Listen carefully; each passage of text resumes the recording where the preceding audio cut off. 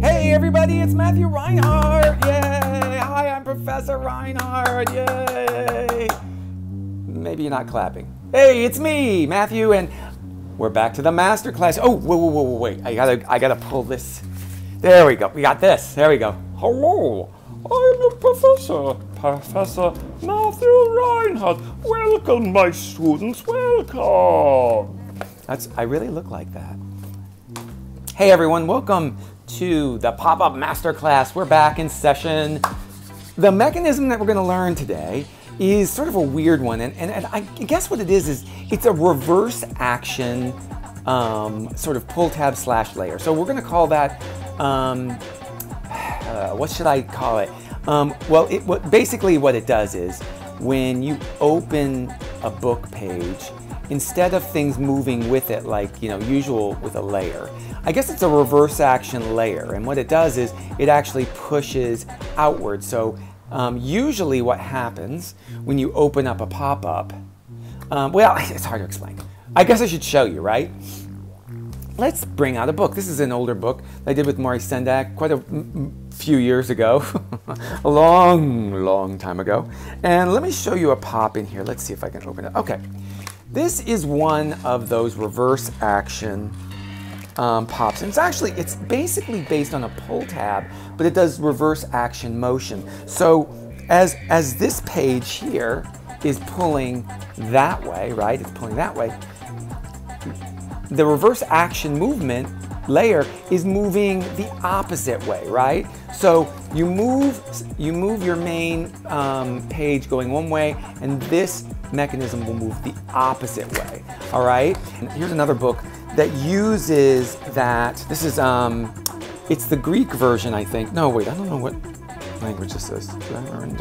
Um, but this one is uh, fairies and magical creatures, and there is a pop. It's not this one. It's this. Okay, so these are these goblins and um, um, little house elves that are inside these uh, cupboards, right? And this, we're seeing this door open, right? Watch the door open. So it's, this page is actually pulling that way, but the reverse action for this part is opening the opposite way. See how that works?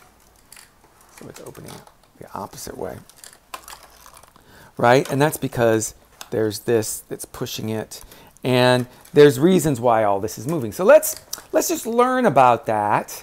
Let's learn about it. So it, let's call this thing it's a reverse action layer.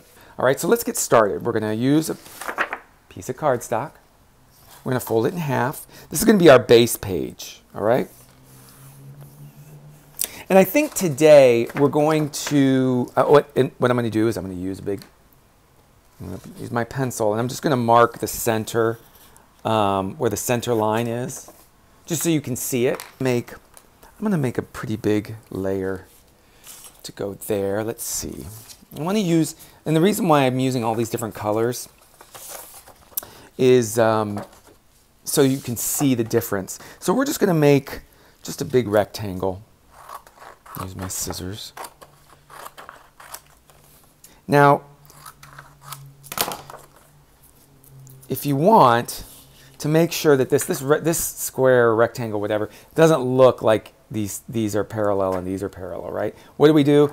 Let's just use the edge of our paper here. And um, sometimes I cheat doing it this way but it's not cheating. It's just a, a, a better way to find it without having to get like sort of a square or whatever. Take my pencil here.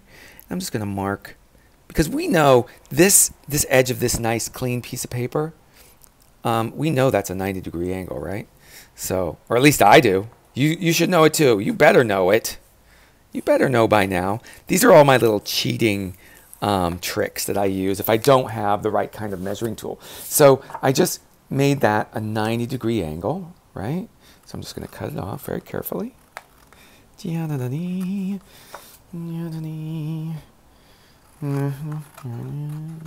There we go. And then I'm going to use that edge right there because we know that we know that's straight so we need to make sure that this edge is perpendicular right And then the same with this one. Well, Did I do that right? Let's do that right. Because I couldn't tell which, which mark was right. Okay, so there's that. Let me cut it. Mm-hmm. All right, and then we got to make sure that last one is right. And I know this seems, I just want to make sure that all my angles, that one looks pretty good. I think we're okay. All right, I just like to make sure that all my angles are right so that that's 90, that's 90, that's 90, and that's 90. So it's, so, you know, it's the right kind of um, rectangle or square. Well, all squares are rectangles, right? They're just rectangles with all equal sides. Yeah, but you didn't know that. all right, so we're going to have this. This is going to be what we're going to base our reverse action layer on. And again, um, here's, well, let's make the layer and let's just fold, let's go ahead and fold one of the sides, right? So we've got one of these sides and I'm gonna, I'm gonna mark it so that you can see it with my pencil. There you go. So you can see that. All right, and what do we do? We line it up right here. See, it's gonna, it's gonna be um, right across the, the center fold. So we mark it there and there, right? And then we tape it down using our tape, just like you know how this works. We've done layers before, super easy. Super easy. And with the reverse action um, layer, this is what we're going to do. Okay, so we first need to have sort of a structure of a, layer structure to build off of. Next, we are going to use an X-Acto knife carefully, and we're going to cut a slit just about right here. Just like that. Okay, get a little peekaboo. See in there. All right, and we're gonna make um, we're gonna make a strut. I'm gonna just cut this, and it's gonna be doubled up. All right, so I'm gonna take this piece here, this rectangle, some double stick, and I want a doubled up sort of, it's going to be a, it's going to be sort of a, hmm, what's the word I want to use? It's going to be a, well, I guess like a strut. It's going to be a strong sort of um, rectangle that's, that's sort of a strut. And what's going to happen is we're going to feed it in through here. And it's going to push. See how it, see how when it's, when I feed it up underneath this surface, and we'll tape it. Look, I'm going to eventually, I'm going to tape it there at the base page. You'll watch that the pink, the layer moves, but this doesn't. And we're going to attach it to something so that it, so that it pushes outward.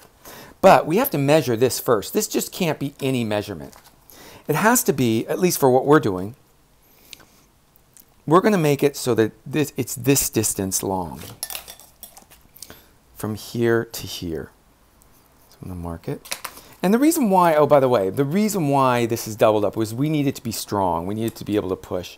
So, and we also, because it's a reverse layer, it has some of the same measurements as a layer does. So, but, it, but they're actually going to crisscross. And we've done something like, kind of like this before in the past, but not quite using it this way, where it's sort of a reverse side of crossover layer or something like that. There we go. See? the width from there to there is the same as the width from there to there. And I'm just going to pull this up real quick to show you that I'm going to slip this right through. Not in there. And I'm going to use some tape and I'm going to tape it down to the center right here. All right, and then we're going to just flip this over and tape it down, back down in place. So watch. See how it moves? Ooh, it's so surprising. What does that, right? We are going to make, we're going to sort of make a flap that is going to, to tape onto this section here. I'm just going to cut a little rectangle. That rectangle looks pretty good, actually. I'm looking at it on this. Yeah, that's pretty good. That's pretty good. Not bad. This edge is a little off, but doesn't matter. All right. And it's going to go, we're going to tape it. We're going to use some one-sided tape. See how I'm taping that? That's sticky side up. And we're going to tape this just onto this edge. Just like that. Okay? Look at that. Look. Look, it pushes it. Ah. Look at that. Now you're going to see, and then we're going to tape it down. Now, see, this is all flat. We're going to tape this, this flap to the edge of our pusher. Now watch. Look, it pushes outward. Right? Great as it is. Now, one of the things that you got to really be careful with, with, with like making this, this flap, it sometimes it can't be it can't be super tall. Like if we were to make it, I don't know, this tall, and I'm just gonna, we're just gonna, we're gonna, I'm gonna show you how certain things wouldn't work. All right, so we're just gonna do this. Okay, look at this. Would that work? No, because look, even if it did, even if it could close, look, it would get all crumpled. Look, that's not good.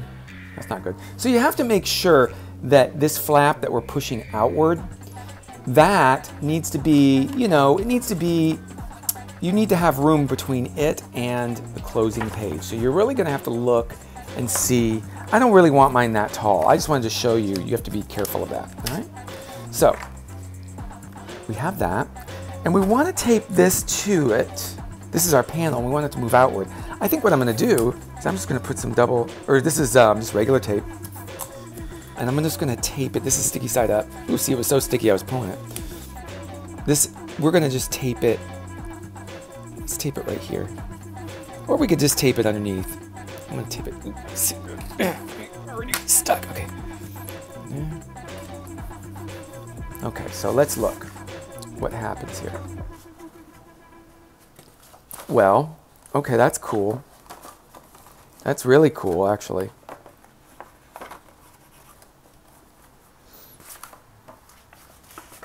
Look, that's moving out. Now, the thing that's not good with this is there's no way this isn't staying in one place, right? Like it's it's it could turn that way, it could flop all over. So we need to build something here, right? To to base it down to the base page or to, to make sure it's attached to the base page or we need to attach it to here. Let's, what we could just do is we could just make a little rectangle that is this height right here and attach it to this edge. So we need to make uh, another layer to, to keep that stabilized. I'm just going to use, this is just my, my um, scrap here. We're going to make a little, we're to make a little stabilizer. And we're going to make sure that its height is the same. That's not quite the same. we got to cut it down.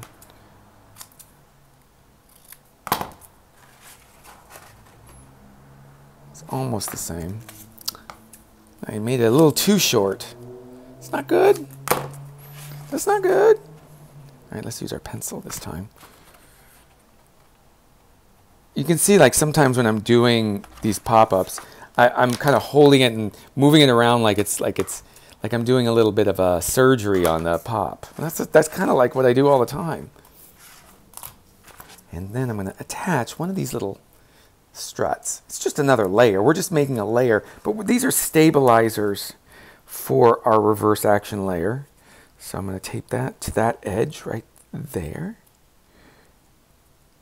And that should stabilize our, um, our panel that's moving outward. All right, so See how that works? Now it folds in. Look at that. Now it folds. That's exactly what we wanted. We wanted this to move outward. And that's what that does. This pusher, rather it's a pull, well, yeah, it's a pusher because it's, it's, it's anchored to the center. And the thing that actually moves, it's, the thing that's moving is actually this layer. This section is moving it, it's being pulled, and then see this, this edge is actually being, watch it, it's, it goes from being here and it's being pulled inward and that pusher is pushing this whole structure outward. Look at that. And you know what I'm going to do? I have an extra one of these struts because I just don't want it to be flopping around. So we're going to do, and what's cool about this is, if we wanted to, I'm just going to attach this. Now, if we wanted our panel to move out a little bit more, if we made this distance,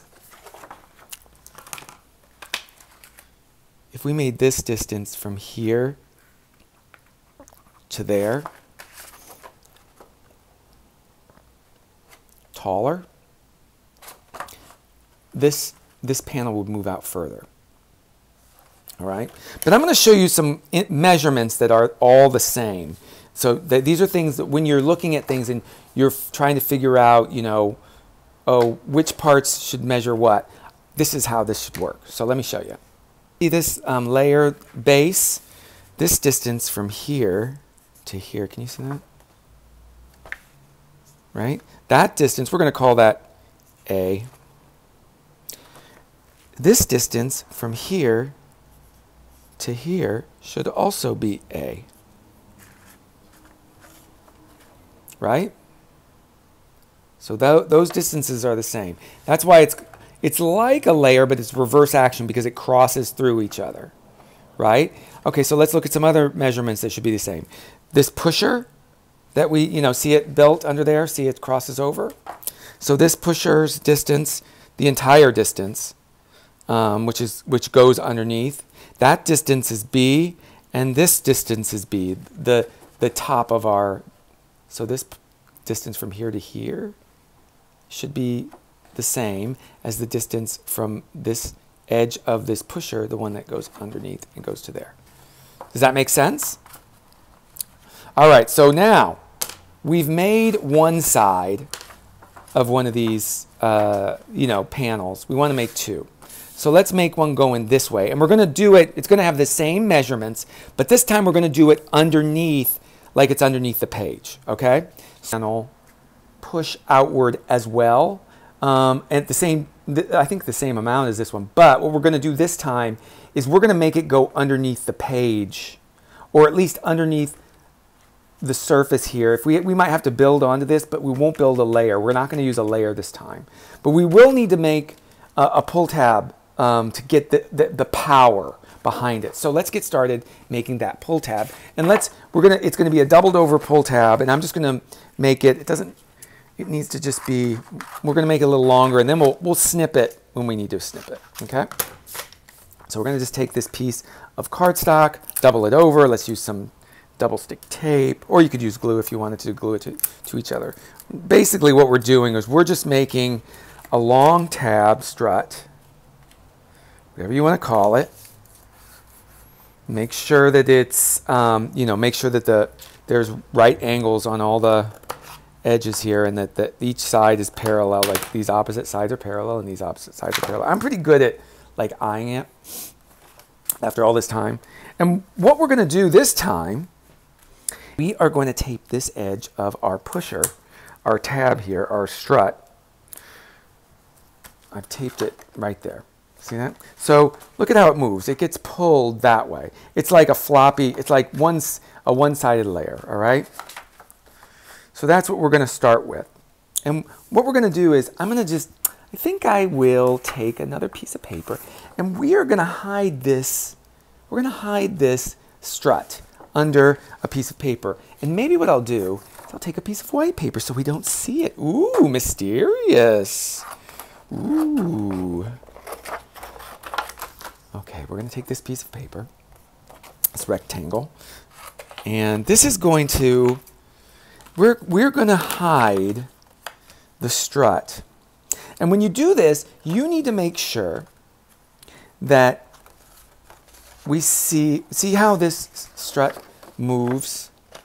Okay, so when it's closed, that strut goes to about, on the opposite side, it goes to about there right? So that's where it ends up. So we need, we cannot cover our, we can't cover that strut on this side beyond that point.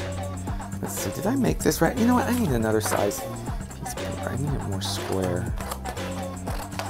I make mistakes. This is, uh, now I make mistakes constantly. So Don't be worried if you make mistakes when you're making your pop-ups. Please. Okay, so we're going to tape this down. What I'm going to do for, for right now is I'm just going to tape it. Let's see what's in the best. I'm going to tape it just over the edge here. I'm going to tape it down. I want it to be kind of a loose cover of our, our, our pull strut. See, now watch. See, it's going to, I'm going to watch it. See how it, it pulls, but it's still under here, and it's pretty loose. Now, this is kind of tight. I think what I'm going to do is use my, um, what a mess over here. What's the matter with you, Matt? You got a messy desk. We are to pull this up a bit. This, this paper, it needs, this little cover, it needs to have some space. Now, it should be flat, but we need to have, like, there's some looseness here because we're going to build something off of here um, and we need to make sure that it can push up a little, the paper can push up so that the mechanism can work well. And think what I'll do is I'll show you what we're going to do underneath. So this is where, let's make sure also that we've got this edge is parallel. This edge here needs to be parallel to the center fold in the base page. Yeah, that's much better. And what we're going to have to do, I'm going to mark this here. And I'm to just pull this up.